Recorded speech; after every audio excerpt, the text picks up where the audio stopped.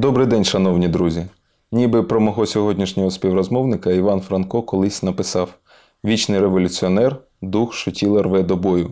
Втім, наш герой цікавий мені передусім як прекрасний письменник. Сьогодні у нас в гостях наш земляк, харків'янин Едуард Лімонов.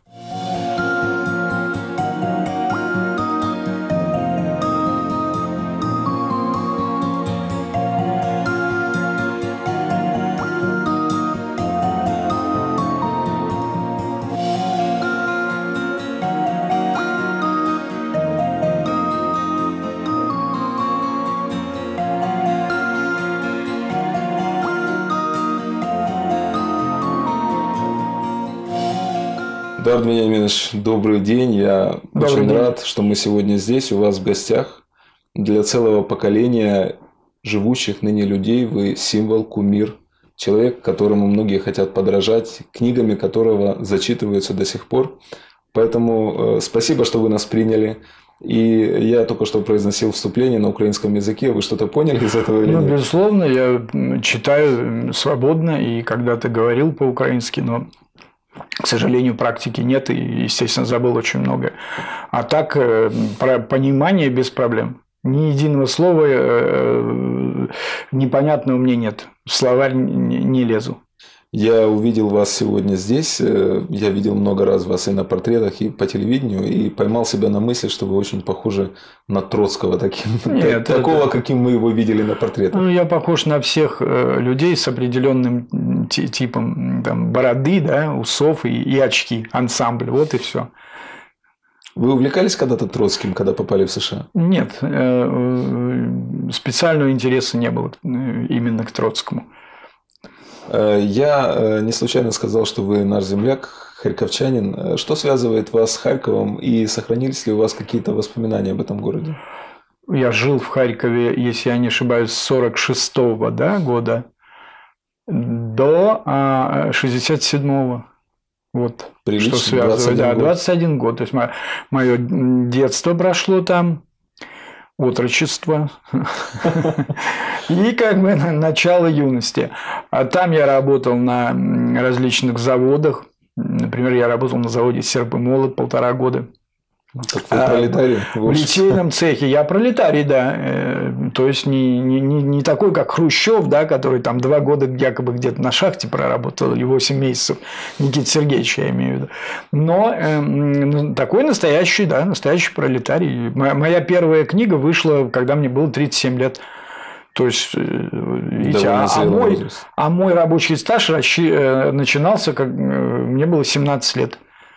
Я работал грузчиком, потом я работал монтажником, высотником, потом вот столеваром и я э, завальщиком шихты, обрубщиком в литейном цехе на серп, на серп и молоте. Я вот слышал, что серп и молот сейчас это там э, профсоюзное движение очень сильное. Я вот очень рад, потому что в 63 году я там участвовал в забастовке, такой стихийной забастовке трехдневной вот рабочих литейки.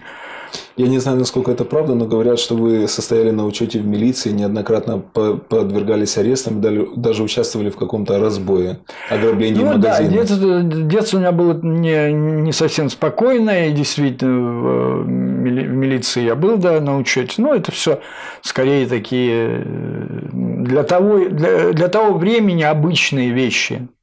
Ни- Ничего экстраординарного не было. Рабочий поселок, среда э, криминальная.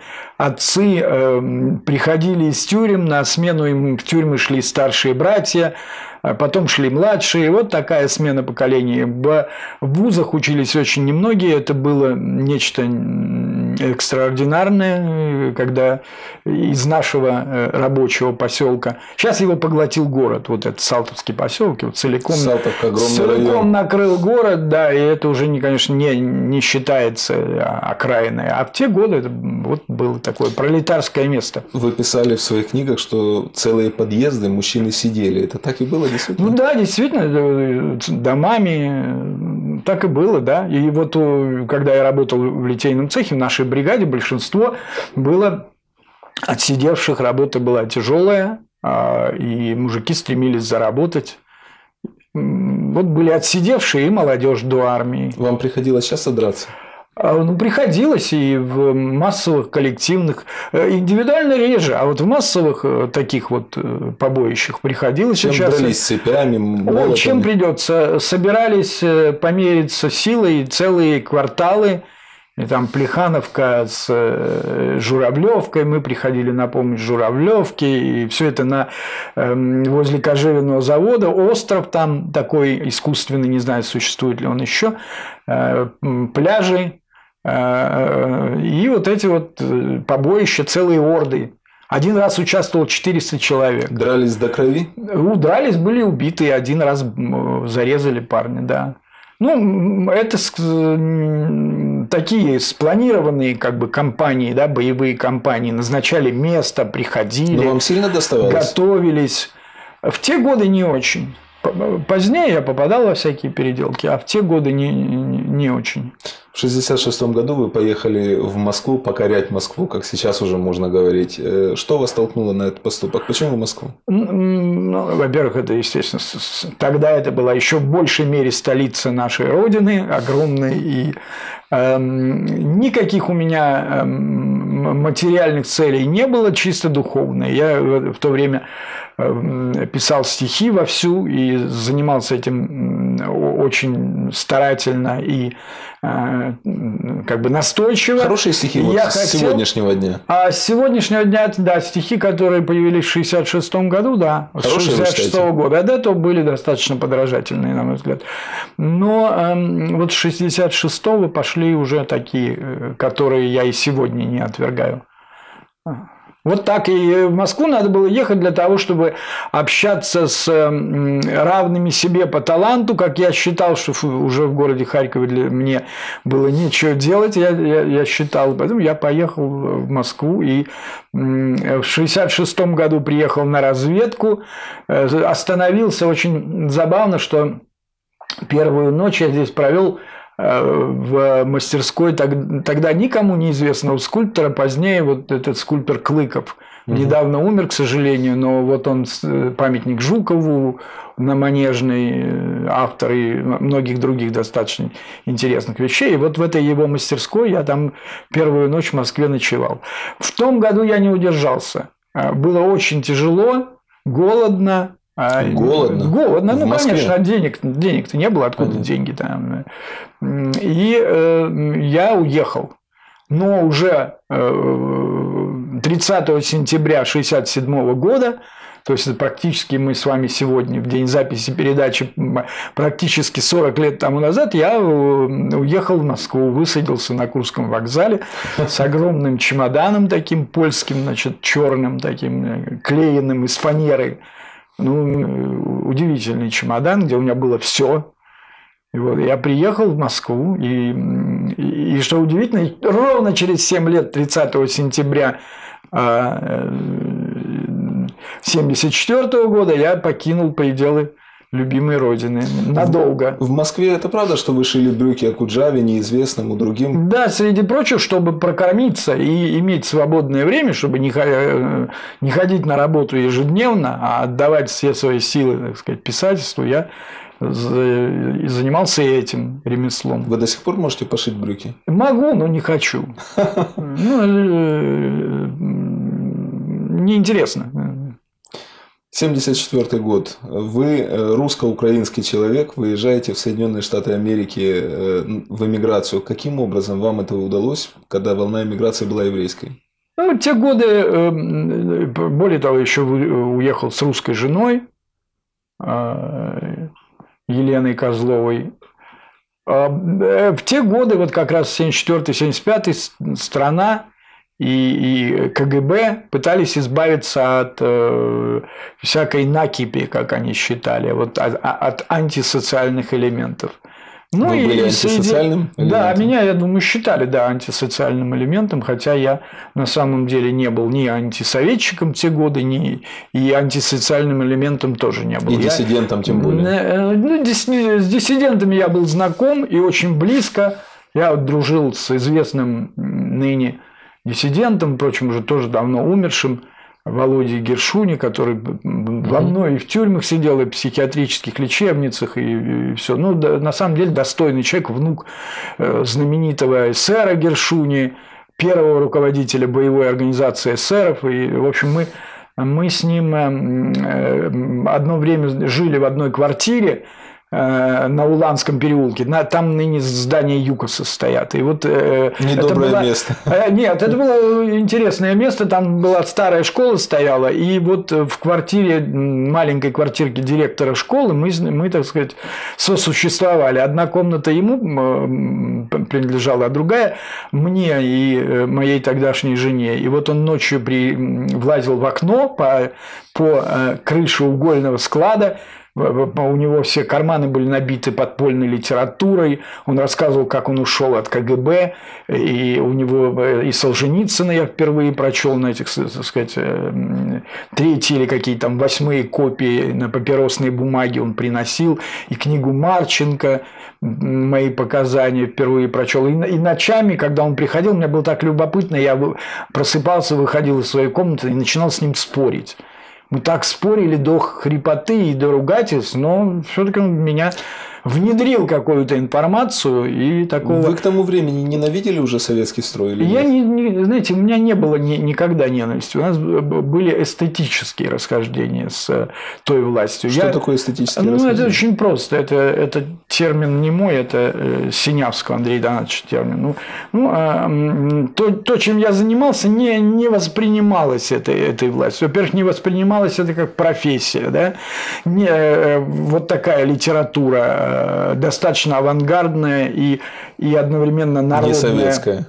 Не советская, да. Тогда была в ходу только советская или антисоветская. Моя же не подходила ни под то определение, ни под это. И у нас расхождения были чисто эстетические. И, и, и э, я очень гордился всегда и победой э, СССР в Берлине. И у меня не, не было. Я Вы знал, были патриотом. Да, я был в достаточной степени безусловно, патриотом, конечно.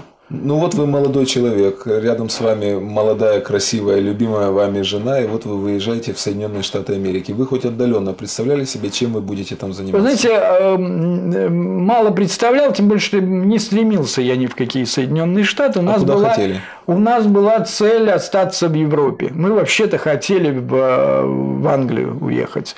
У нас там были знакомые, но, к сожалению, тогда э, э, эмигрантов из России принимали только две страны – Канада и Соединенные Штаты. А э, во всех остальных… И Израиль, наверное. Э, и Израиль, да. Ну, не будучи э, евреями по национальности, мы не могли тут… И, и, и, не, нам нечего там было делать, собственно говоря. Вот. И э, мы хотели в Европу и пытались остаться. Этот путь был абсолютно одинаков для всех. Это Вена, потом Италия, потом Соединенные Штаты или Канада. И мы пытались задержаться в Вене, не смогли, потом прожили зиму в Италии, и в конце концов э, уже 18 э, февраля 1975 э, года прилетели в Нью-Йорк. 13 профессий вы испробовали в Америке, да? Да, да, да, да. Так, это я когда-то подсчитал. Возможно, их было и больше, но теперь я традиционно верю, что да, 13. Вы знаете, в свое время для советского общества было большим потрясением, стало большим потрясением ваша книга «Это я, Эдичка». Я думаю, что бы вы ни написали и что бы вы ни совершили революционного еще, эта книга уже навсегда останется как памятник Эдуарду Лимонову. И... Ну, э, я сам не, не очень настаиваю на таком памятнике. Книги у меня есть и много лучше. Например, те, которые я написал в тюрьме книги, даже вот книга «Воды», она приблизительно такого же лирического жанра, но куда более зрелого мастера работы и Э, там есть просто, ну, на мой взгляд, такие Э, кто-то назвал их полугениальными, но я иногда по приливе само, э, самомнения считаю гениальными, полностью, гениальными. Да, полностью гениальными куски, и сейчас иногда перечитываю, думаю, как я мог такое написать.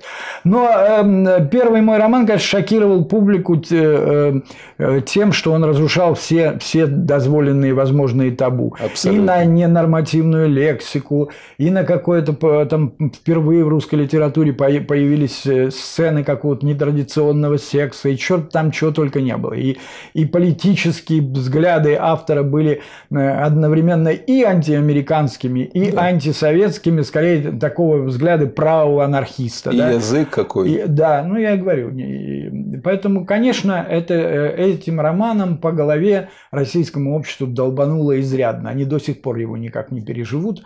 Э, ну, я думаю, что это полезно. И считаю, что написал очень революционный, очень талантливый э, роман, который, в общем, вот я думаю, что многие писатели хотели бы такой революционный роман написать, но... Мастерства и духу не хватило. Да, но мастерства и духу не хватило. Ну, после этого я свыше 40 книг написал. Но вы знаете, когда перечитываешь это я Эдичка, сжимается сердце от ощущения какого-то физического ощущения вашего одиночества в Америке. Становится вас просто жалко. Вот, У меня знаете... ничего не сжимается, я давно не читаю, э, не перечитываю вот эти книги, зато с удовольствием перечитываю свои тюремные книги. Они очень страшные в известном смысле. Вот, например, у меня есть книга по тюрьмам, она страшная книга, там о судьбах людей, которые вот уходят там из зала суда, получив пожизненное заключение. И вот я там описываю их лица, как они выглядят, что они говорят.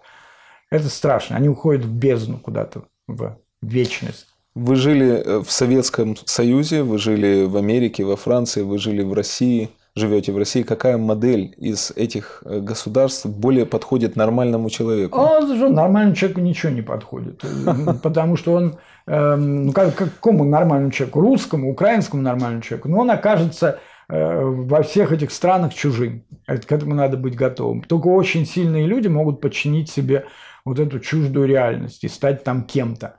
Ну, я, например, в, в Америке не смог себе подчинить эту реальность, а во Франции я ее подчинил, я стал очень известным писателем, и именно не писателем-иммигрантом даже, а я вот издал Французским 17 книг на, на французском языке там, они были, большая часть написаны по-русски, переведены, но я был, например, как журналист, я был вполне французский журналист, писал на языке последние годы и э, работал во множестве э, журналов и ездил как военный корреспондент позднее по различным горячим, горячим, горячим точкам, точкам да. да, в Европе, когда они появились. Вот поэтому а нормальный, как вы говорите, гражданин, он редко э, умеет так попасть в это новое общество, чтобы быть его полноправным членом.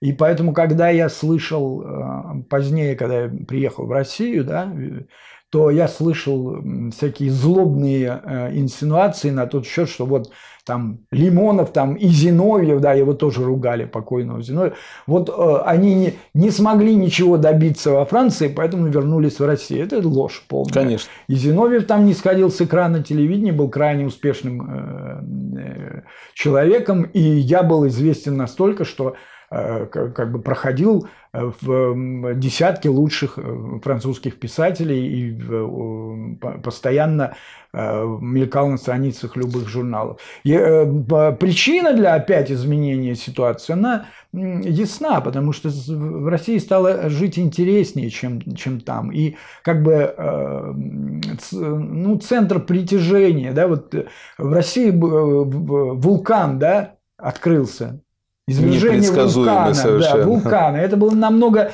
интереснее, чем французская размеренная жизнь. А, я, до тошноты размеренно. До тошноты, ну, и не совсем до тошноты, ну, скажем, Париж город неотрицаемо лучший в мире.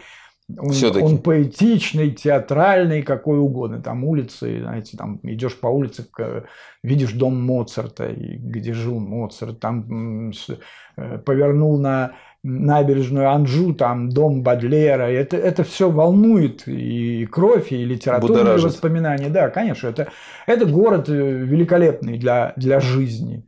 Но, как я себе всегда говорил, вот хорошо жить там на пенсии, например, будучи там э, а так я не... Мне, Причем на хорошей пенсии. Мне стало неинтересно. Я уже достаточно неплохо зарабатывал последние годы литературным трудом. Э, ну, Например, я за маленькую книжечку, у нас была Великая эпоха, я получил от издательства «Фламарион» 125 э, тысяч франков. Можно жить. Это да, это практически по тем временам 30 тысяч долларов авансов. Это было, ну, я могу вам сказать, что для сравнения Уильям Берроуз никогда не получал более 10 тысяч долларов э, аванс вообще за всю свою жизнь. То есть, э, можно было становиться все более и более известным французским писателем. Э, уже я понимал, что писать по-французски можно легко, и имея, скажем, на первых порах редактора хорошего, который будет твой текст консультировать чуть-чуть причесать, да, причесывать и все. Но я подумал, ну что меня ожидает впереди? Э, старость, в лучшем случае, э, в лучшем случае э, стану членом французской академии. Ну, стал же Анри Труая, да, русский человек, членом французской академии. Талант у меня есть, всего этого я достигну, но я не, этого не хотел. И как только начались всякие, всякие там изменения, войны, да, и вот это на теле Европы, я устремился туда, потому что меня тянуло и было интересно посмотреть на людей в экстремальной ситуации, вот в ситуации. Но вы же войны. получили гражданство Франции, и тем не менее отдали его, вернули себе гражданство России. Я да? получил, да, гражданство, но я его получил задолго до того, как какие-то особенные перемены начались в России. А, в середине 80-х годов, и э, просто потому, что у меня, э, уже, у меня не было никаких документов. У меня была ситуация, когда меня могли просто депортировать, и какие-то люди хотели, да, поэтому мне ничего не осталось, как э, взять и подать документы. На, и, и мне дали их, но с большой неохотой. Меня не, там особенно не хотели. И эквивалент вашей службы безпеки и нашей, нашего ФСБ, ДСТ французская, они возражали против того, что мне дали гражданство. Э, но э, общественность вступилась за меня тогда. Сейчас бы, может, и не вступилась, но тогда вступилась, и я получил его. Я позволю себе э, привести несколько цитат, я буду иногда цитировать. Михаил Шемякин, известный русский художник, гражданин Соединенных Штатов. Мне кажется, что Лимонову все до фени, кроме себя. Он очень талантлив, внутри очень одинок. Он проник в гущу интереснейших событий. Не завидую никому, кто попадает в поле, попадет в поле его зрения, тот будет выведен в его романе со всей подноготной. То, что он напишет, будет пользоваться на Западе бешеным успехом, но я мало верю в то, что Лимонов приверженец какой-либо политической идеи. Разумный, циничный, саркастичный человек. Это он сказал в интервью газете «Комсомольская правда» в 1993 году, после того, как в ночь с 3 на 4 октября у Моссовета Шемякину дважды хотели набить морду бдительные защитники демократии, спутав его с Эдуардом Лимоновым. Вот-вот, жаль, что не набили. Надо было набить такие, чтобы не говорил э, всяческих э, домыслов. А, я далеко не циничный человек, и э, напротив, человек страстный и порой увлекающийся, но вежливый, да.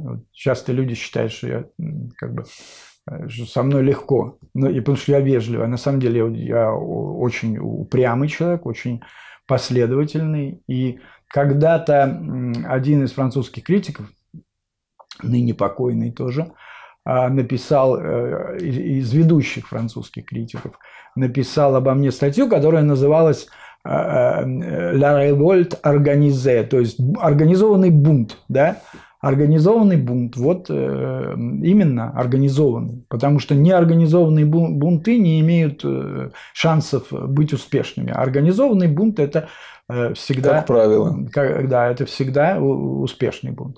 И просто я свой бунт действительно, согласно лучшим бизнес каким-то правилам да, игры, я его так вот планировал и осуществлял.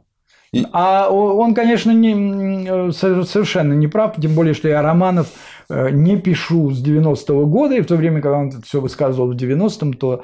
В 93-м. Э, в 93-м, да, то я давным-давно исключительно эссе. Ну, побили его, Р- можно Работаю понять. в жанре эссе. Побили его.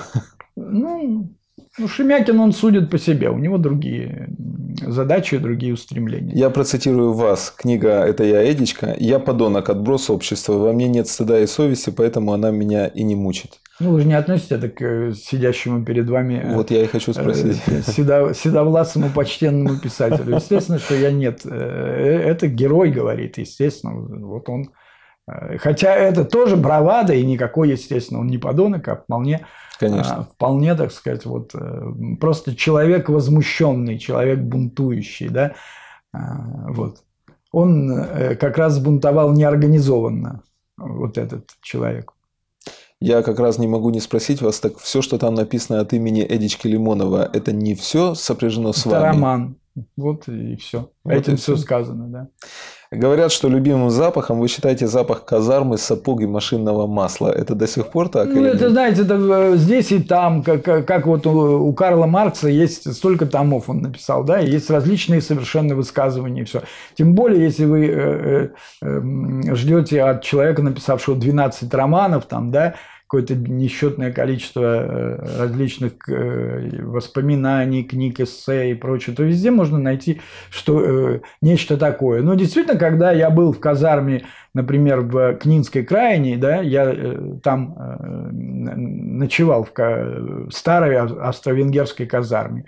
И солдаты, оружие, запах машинного Тоже масла, да? запах, запах именно обязательно сапожной ваксы – и я вспомнил а, запах из детства отца. Вот отец мой военный, он, он именно так пах, да, у него были сапоги, портянки, сапоги, да, ремень. портянки, ремень, запах оружия, смазочного масла и в и запах пота. А, ну пота, знаете, хороший солдат старается, чтобы не было пота. Ну, бывает и пота, да. И вот, э, вот как это выглядело. То есть я вспомнил это, я э, спал и проснулся рано-рано, где-то там полшестого, и слышу там солдаты часовые что-то переговариваются. Вообще очень уютно так. Я подумал, что так уютно? Потянул носом запах и думаю, господи, это же запах из детства, запах отца. Ну что для, для маленького пацана, естественно, запах отца – это такое спокойствие. Ваш отец ведь служил в НКВД? Ну, он был в, в он призыва, а, а, по-моему, 40-го года, да? Нет, он не призыва 40 40 он призыва 37-го года, да. Потому что он 18 Когда года много рождения. людей сменилось. Когда много раз, людей сменилось. Мой отец был, больш... Э, ну как большим, он был необычным для того э, времени э, таким техническим самородком, да, он занимался радио, электроникой, по тем временам это был ценный кадр, поэтому его призвали действительно войска НКВД. Ну, наверняка... Позднее он был, э, эти войска переименовывали, войска МГБ, потом он, э, потом э, он, собственно, около 30 лет прослужил. Потом работал во всяких знаете, где работают бывшие военные, На во ящиках. всяких канто, ящиках, да, да. абсолютно верно. Но он наверняка был идейный человек. Э, он как был вы... идейный, но он одно время был политруком и э, вообще считал, что политрук – это э, такая, ну, последние годы он говорил, что российская армия потому погибает, потому что э, уничтожен вот этот институт сам по себе полит, политруков. Как вы думаете, он бы не перевернулся в гробу сейчас, посмотрев на ваш жизненный и творческий путь? Ну почему? Он э, дожил до... Он умер совсем недавно, в 2004 году, в возрасте 86 лет, дождавшись э, выхода из тюрьмы моего, всего, да. да, да. Единственное, что не дождался рождения внука, но так он не переворачивался, нет. Что он говорил вообще вам? По поводу вашего занятия, по поводу вашего ремесла? Ну, они не одобряли никогда моих э, устремлений. устремлений. Да, но постепенно, поскольку ну, как бы известность, она производит впечатление даже на родителей. Да? Конечно. И в конце концов а, они не смогли долго сопротивляться и, в общем, в конце концов примирились со мной. Вы принимали участие во многих войнах, я знаю, и в Приднестровье, и в Абхазии. Правда ли, что вы ходили в атаку на мусульман в Сараево? Ну, я бы не хотел эти сейчас э, щекотливые проблемы э, истории поднимать, потому что это э, как бы, ну, небезопасно в нашей стране там рассказывать о своих историях подобного рода. Но я действительно, как журналист, а, был на пяти войнах, в том числе вот на трех э, сербских войнах.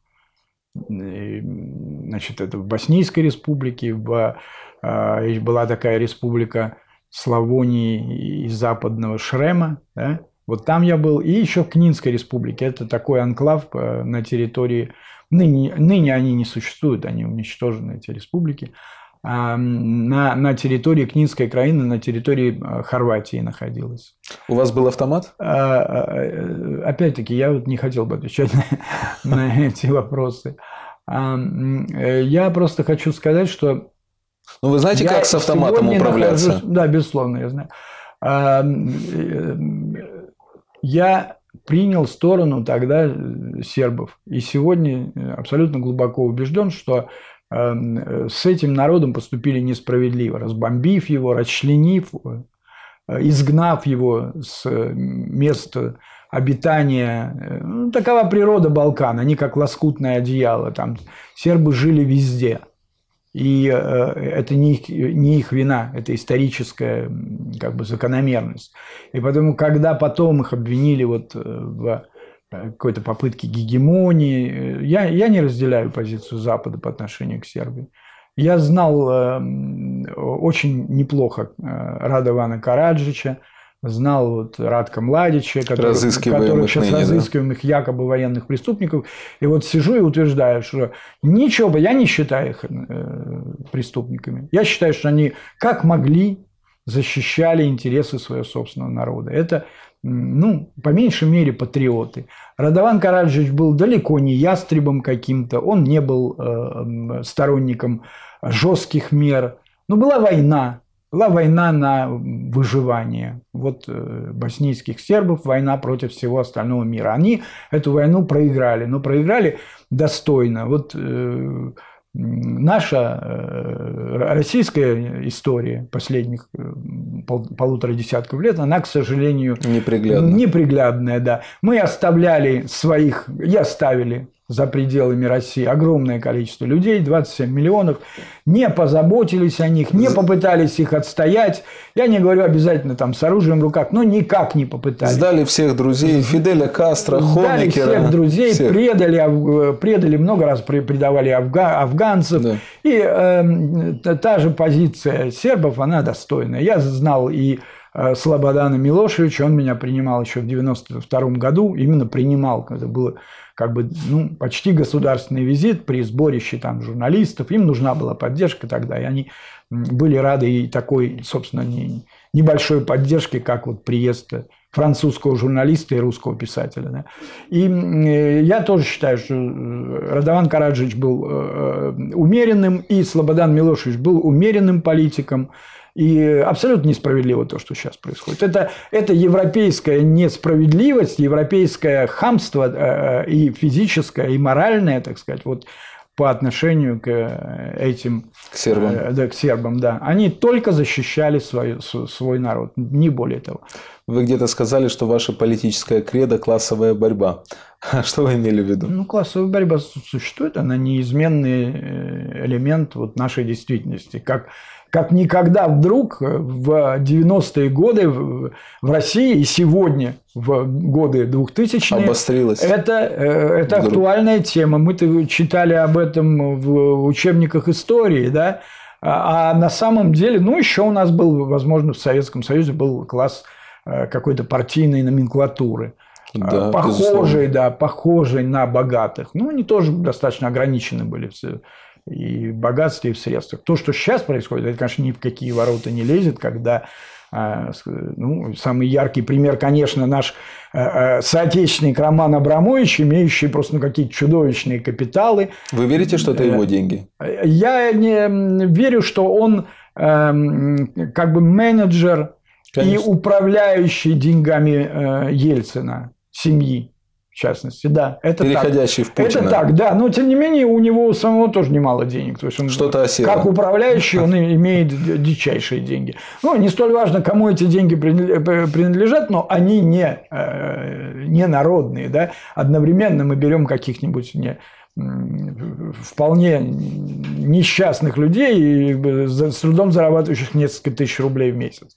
И таких много. У нас много работников бюджетных, э, э, работников медицинского, э, значит, сферы медицинской, учителей, которые просто копейки имеют. И, конечно, это невыносимо. И такое государство никогда прочным не будет. И, конечно, граждане должны, должны были бунтовать против вот этого вопиющего социального А они не бунтуют. Ну, знаете, они, граждане, сами организоваться не могут, их надо организовывать. Вот когда появляется партия или, или несколько организаций или партий, которые могут их организовать, то что ж, граждане не заставят себя долго ждать, на мой взгляд. Опять процитирую вам вас. Я всегда был красного толка человек и продолжаю поддерживать социалистические красные идеи. Я не марксист совершенно точно, но социалист. Но как сегодня в 21 веке, вот обывательский вопрос, можно оставаться человеком красного толка? Ну, а у нас очень много в мире стран, где преобладает социалистическая система, тот же Китай, огромный, самая населенная Не страна, маленькая страна, страна да. мира, та же Куба, Вьетнам, эм, и масса, масса полусоциалистических стран в Африке, э, масса э, стран подобных же но только э, с такими модернизированными режимами в Европе, в конце концов, та же Швеция, та же Франция, с, э, с, совсем недавно была еще с социалистическим правительством, и все равно внутренний порядок во Франции, кто бы там ни находился у власти, пусть и галлисты, но он, он, он социалистический. Там очень развито э, понятие социальной справедливости.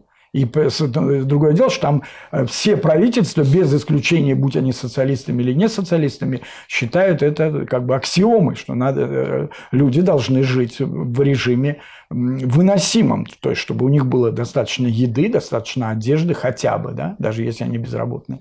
И поэтому я, не считаю, я считаю, что, во-первых, социализм изменил лицо капитализма путем э, эволюции влияния и боязни, да, боязни капиталистов потерять. за потерять то, что они имеют. Конечно. Потому что дикий капитализм, скажем, в Америке там, в начале 20 века, он не думал ни он, о чем. Он был, он был дикий, вот как у нас сейчас, где ванны из золота там и, и прочие прелести. Да? А в конце концов ведь это все сменилось образом цивилизованным. Такого, да, такого работающего миллионера, да, и, сейчас... Рубахи парни Да, рубахи. Смотрите, как одевается Билл Гейтс, как он вкалывает на самом деле. Вот э, это, это все влияние, безусловно, социалистического движения, и в частности, революции в России тоже. Потому что это, революция в России испугала, перепугала к чертовой матери весь мир. Вы являетесь представителем национал-большевистской партии. А что такое национал и что такое большевистская? Я уже не являюсь, потому что нас ликвидировали. То есть формально я не являюсь. Конечно, мои сторонники, они никуда не делись, и мы остались. Сейчас пытаемся зарегистрироваться как партия под другим названием.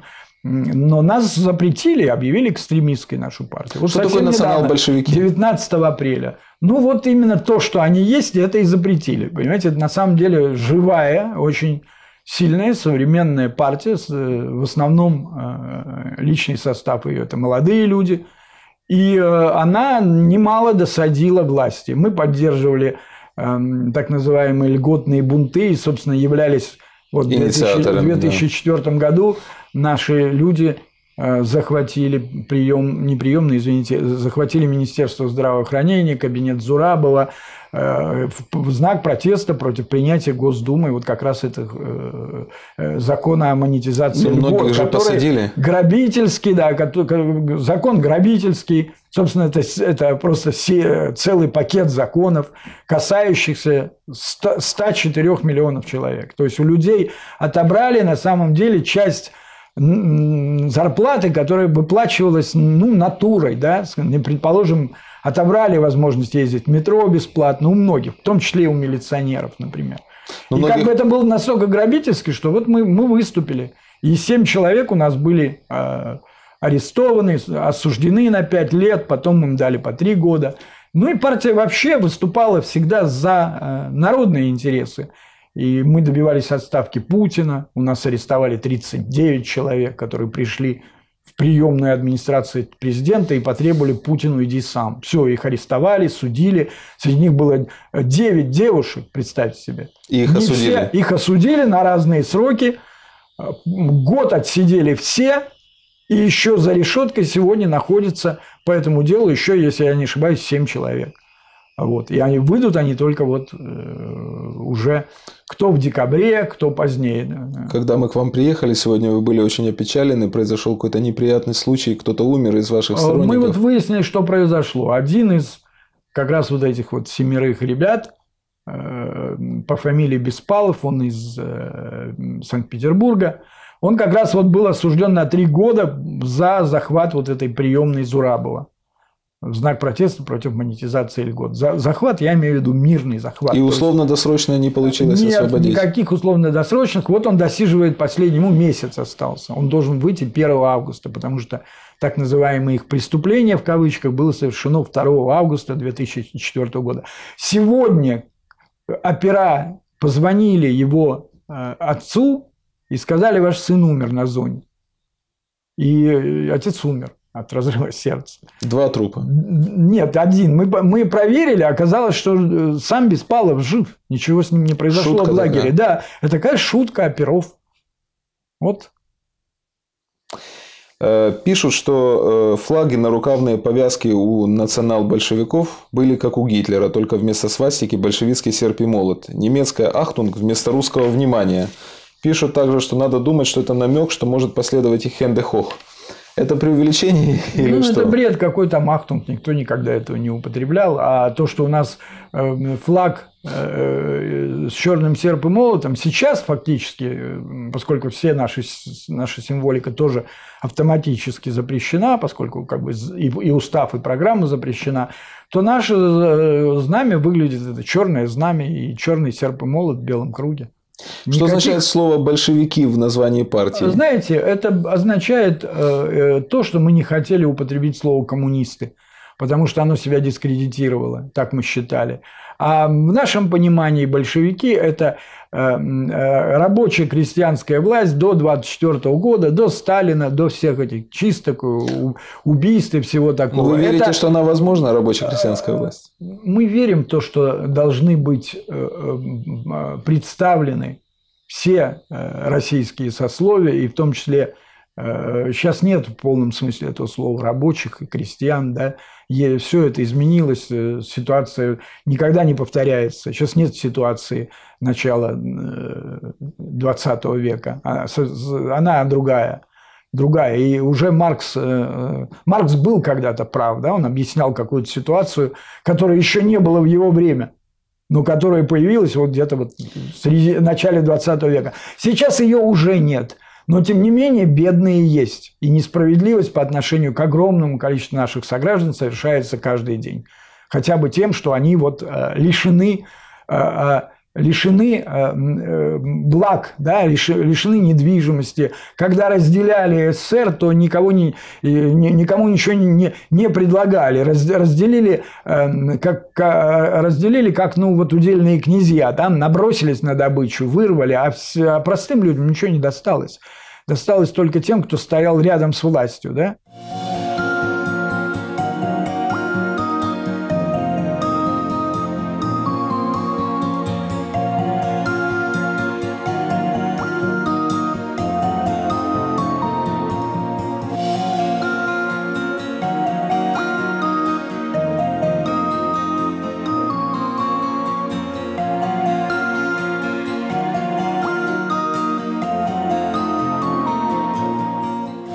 Шановні друзі, сьогодні у нас в гостях був видатний письменник, наш земляк, харків'янин Едуард Лімонов.